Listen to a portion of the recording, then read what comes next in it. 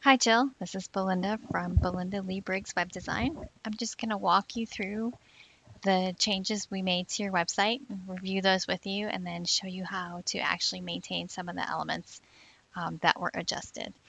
A quick overview of what we did was to create a new teacher page function that enabled you to feature um, the teacher bios in um, a space where all the pictures looked very nice regardless of the different um, formats and styles that they were shot under.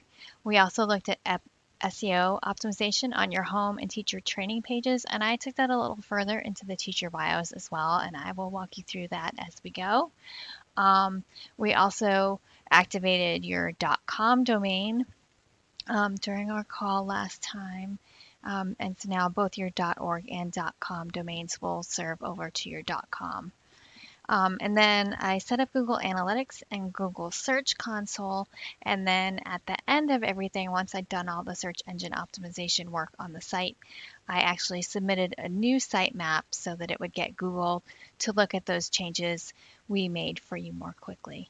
I also will say um, that for future search engine information, particularly relevant to Squarespace, there's an article on my blog that I'm going to share to you, but you just want to refer back to that in the future as you're working on your site to keep those um, activities and things in mind to keep your SEO in great shape because it is an ongoing work. Okay, so we will um, start with the simple stuff which will be the search engine optimization.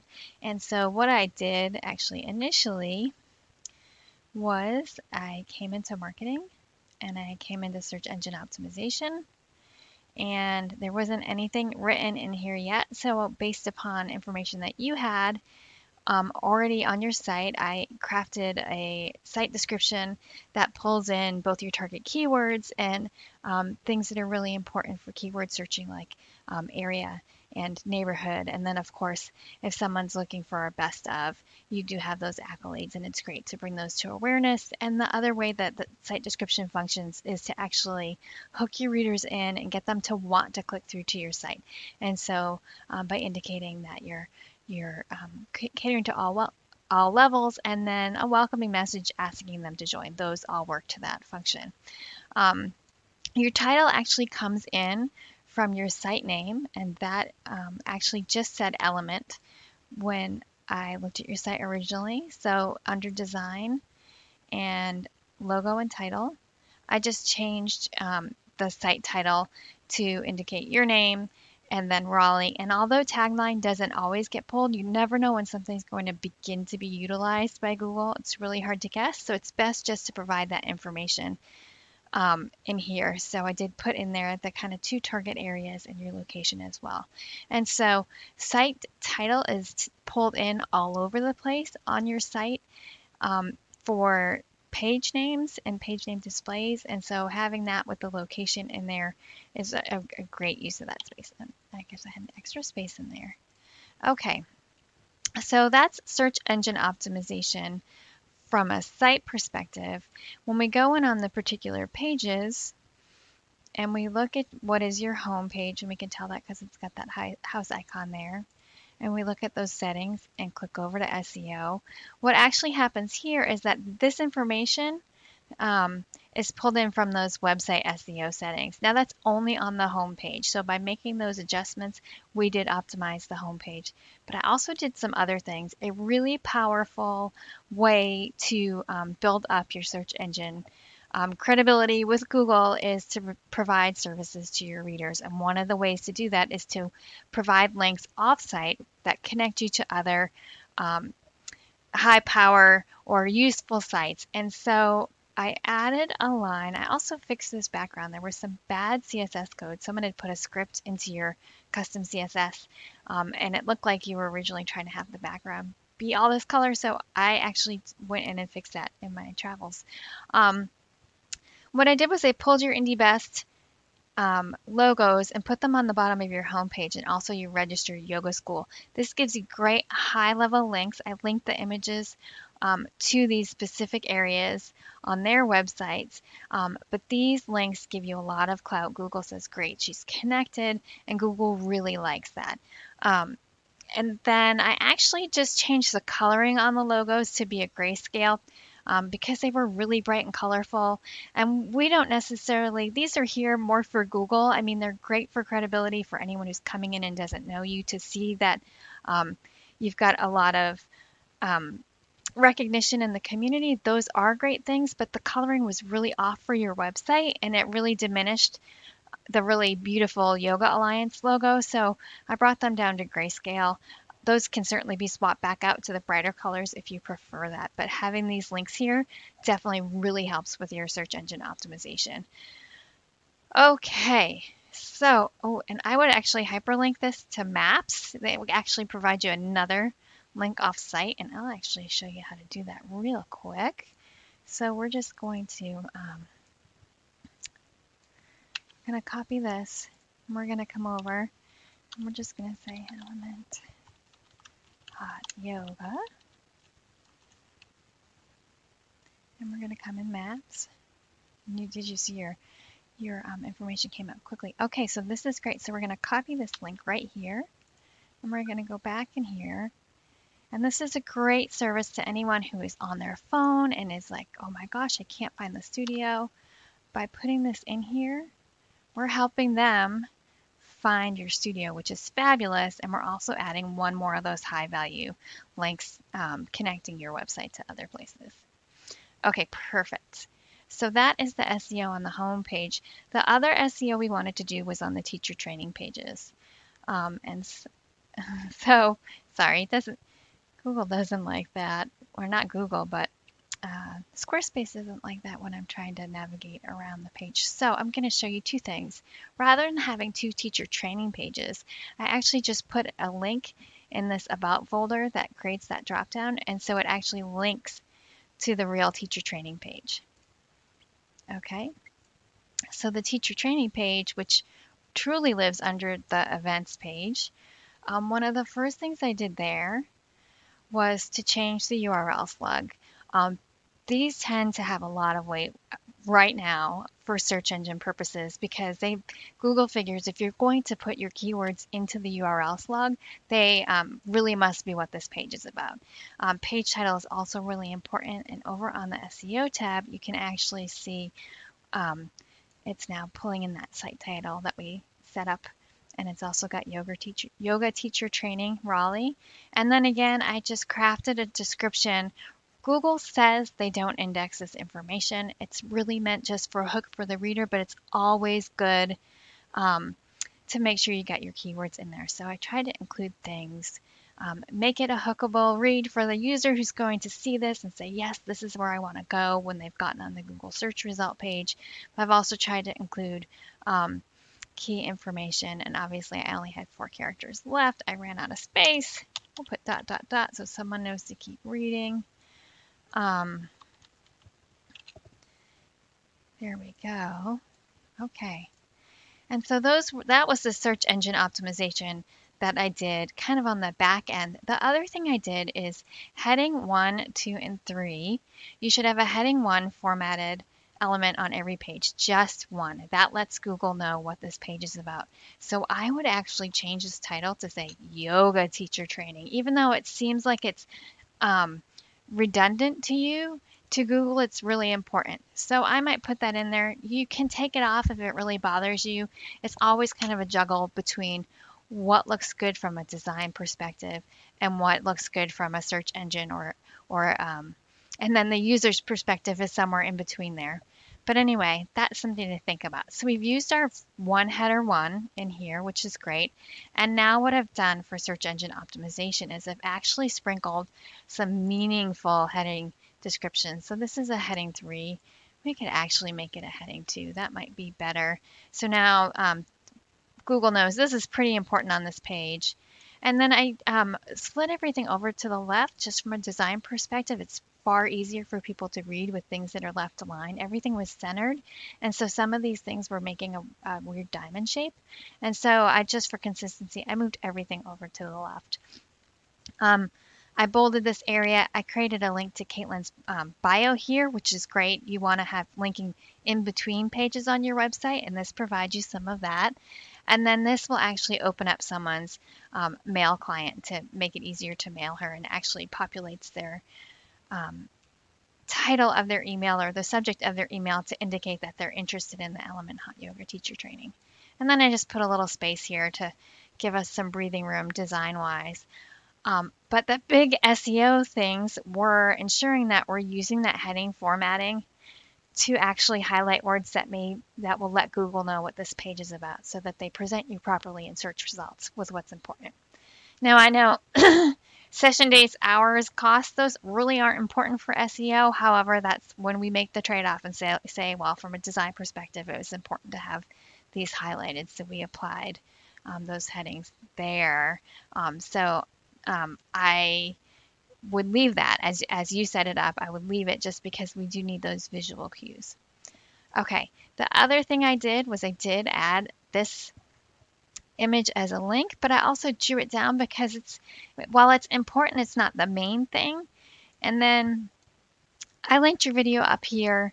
Um, it's beautiful insight into what you do, and you're right, that that is definitely um, something that belongs at the top here. I did try to put it in your banner, but the volume didn't play. And as I watched the video, I realized that um, hearing the words of the video are really critical for someone coming in and deciding if your training program is going to be a match for them.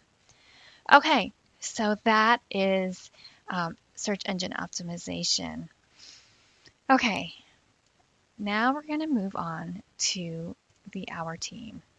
So the Our Team page now has a teacher section and all of the images take about I think 35 to 40 percent um, they all take the same percentage of space up with the text so it gives you that nice consistent um, look across the board even though everybody's picture kind of has a slightly different aesthetic to it and I also broke up the profiles into staff profiles and into teacher profiles and then for every person, what's, what's really great is when you click read more, it brings you to their personal bio.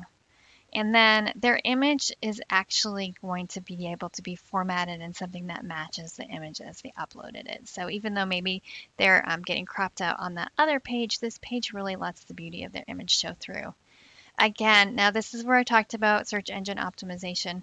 Again, on these, um, I did do some linking. I just tried to think about if I was reading this and wanted to know about more about this teacher or some of the things on here, what would I want to know? And you can certainly change these, but I highly recommend um, that for search engine optimization purposes and to make your site look like more of an authority that you do provide off-site links. And it is totally okay to link to an off-site um, yoga place because people who want to come people who want to do yoga in Raleigh want to do yoga in Raleigh.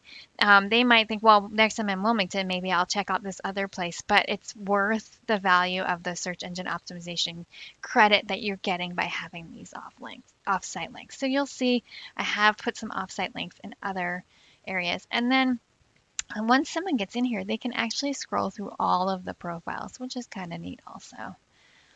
Um, so let's talk about how this is managed. So the um, our team page that's got all the profiles pulled into it is right here. And if I edit it, you can see we've got just a text block with that our teachers. And again, we're, we're taking advantage of that heading two. I mean, maybe you'd want to say our yoga teachers for search engine optimization, but it's redundant. And so I wouldn't recommend that here. So what you'll notice here, this is a summary block and it's pointing to the team directory to get its data. And I have it set up in a list and all the images are set to square and they are 40%. And we've got the consistency in text because we've set it to set a text size of large and alignment on left on all of these items. And um, I'm telling it, hopefully you don't get more of a 30 30 for your staff because that is a limitation here on these summary blocks. Um, and the big thing is that it's filtering and only showing people who have bios that are tagged with a category of teacher. So if we come down here and we look in the Our Staff section, you'll notice uh, Chris threw me off a little bit, but I realized he's a staff guy. Um, so the big difference down here Oop, let's do 30 here as well, just in case you get really big or open another office. But you'll notice that there, um, this section pulls in people who have a um, category selected of staff. So let me show you how that, so you don't need to do anything to this page. All you need to do is come down here, the team directory. I saved your old pages. You can delete these when you're ready. Um, to add a new staff bio, you come to the team directory. Let's go back out and do that again slow. The team directory is down here and not linked. There it is. Um, I'm going to show quickly show you search engine optimization. I don't have much in here. I think I should fill it out. Uh, let's see.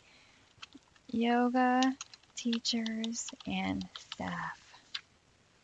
And then um, I think, let's come to the Our team page and see what we say.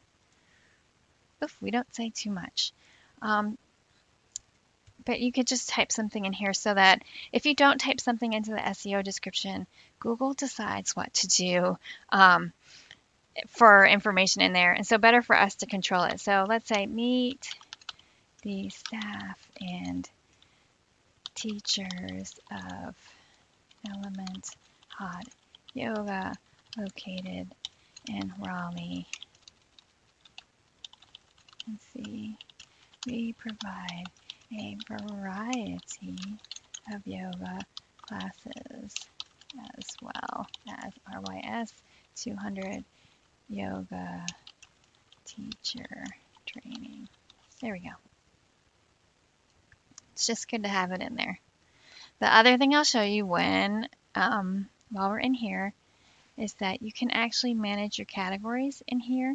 So you can actually um, edit them and it will edit, if you change this, it will edit anybody who's marked as staff. So say you decide, I don't want to call people teacher, I want to call them um, instructor, you can just come in here and edit and change the name from teacher to instructor and it will change it across everybody and that way it kind of this is the best really clean way to do that the other thing is I tagged a bunch of people because tags are used by Google for search engine optimization. And they also let people, um, when people are searching for these words on your site, it will pull in um, instructors that match, even if they only have an interest in this area. It's just a really nice um, function available for people who want to search. And again, Google does look at it. So just one more thing. Okay, I'm going to save so we don't lose that search engine optimization. Okay, so this is what the page looks like should somebody stumble on it.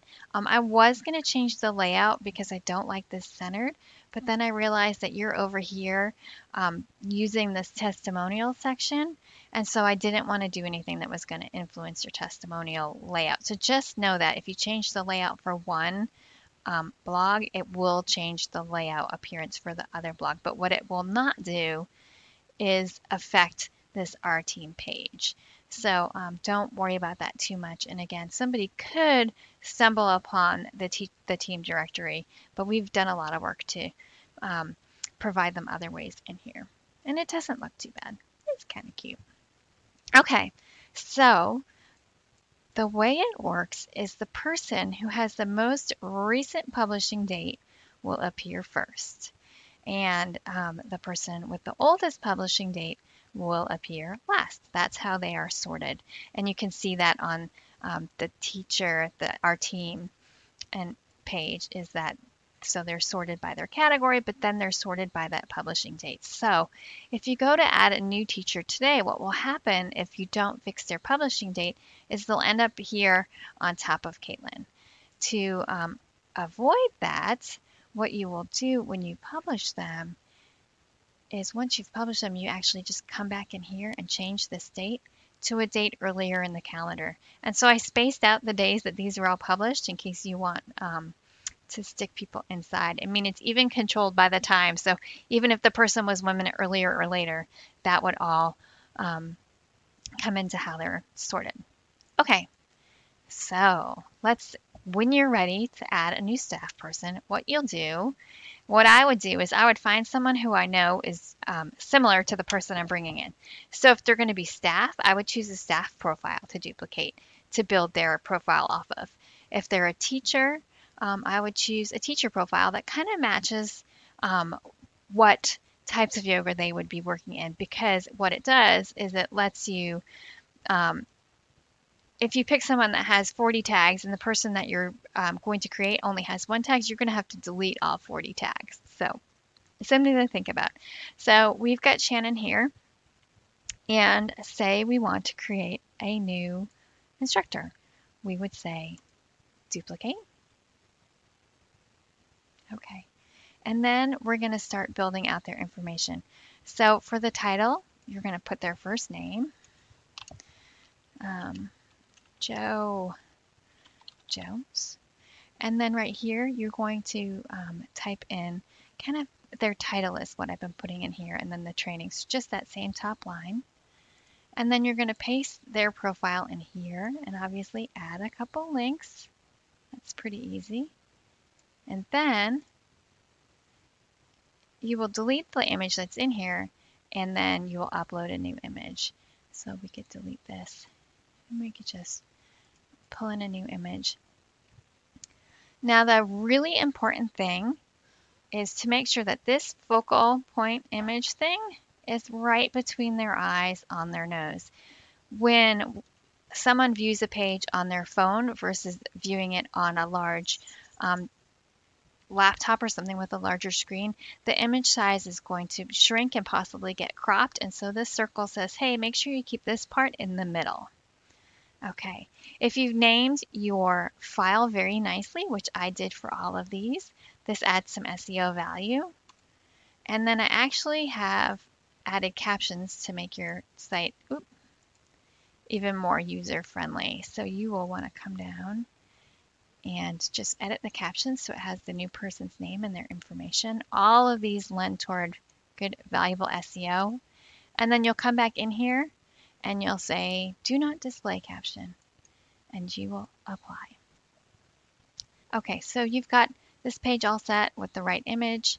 Then I would actually copy their, their name, come to options, and you're going to copy their name in here, or paste their name in here over the old person's name. Joe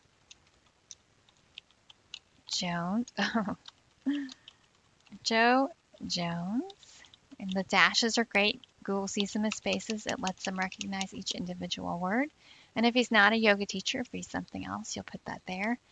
And then what I did was I, this is the part that shows on the Our Team page. These pieces of information actually come from the excerpt. They do not come from the content page. So what you want to do is you actually want to go back to the content page and you may find that the first paragraph isn't really what you want displayed on the other page. It may be something else. You might want to just craft something a little different, but put that together and put it in here. I limited everybody to four lines for consistency. So um, three to four lines for each person will get you that nice consistent look um, for every person on the page. See how they're nice and consistent, lots of white space for resting our eyes and maintaining calm. Okay, once you've done that, oops, we don't want to click featured post. You need to make sure you change their thumbnail image too, because the thumbnail image is what appears again on that teacher training page. So you want to make sure the thumbnail image matches and that their focal point is in the right place. Then you want to come to the SEO tab and look at it has this old person's thing in there because it's pulling the old thing. So I'm going to say Joe Jones and I'm going to say yoga teacher. Now this is very consistent with all of the other pages, which is great. And then this is that hook part and all I did was um, copied, not this title thing, but this part from down here. Copy that paste it into SEO. The last thing I'll show you is that for each one of these, the location is set to your studio, which is another great search engine optimization thing. And then you're going to save and publish. And then what you're going to do is you're going to come in and you're actually going to change that publishing date so he shows up in the list where you want him. So um, let's see, I want him, hmm, I want him between Connor and Lauren. So that means I need to go somewhere between October 14th and October 11th. So I'm going to publish him on October 12th. So let's do that.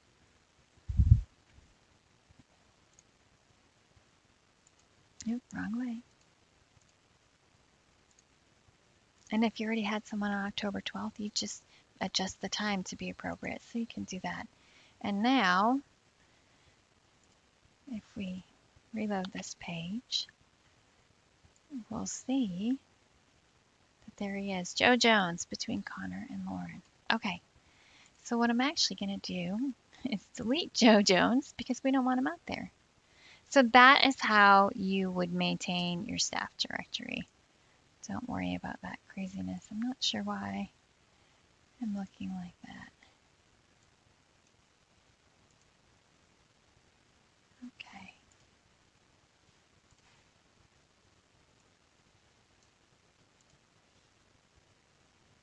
Okay, woof, the scheduling came up. Okay, so that is it. Your site has been optimized for a search engine on your homepage, across your site in general, your teacher training pages, and then um, in your staff bios as well. And that is it. If you have any questions, please don't hesitate to reach out to me. I'm, i apologize for the length of this video. Um, I, down in the um, description section of the video, I will add little chapter links. So um, it will be you'll be able to jump to the part of the video that talks about adding teacher bios. That way you don't have to rewatch the whole video every time you want to do something. Thanks so much.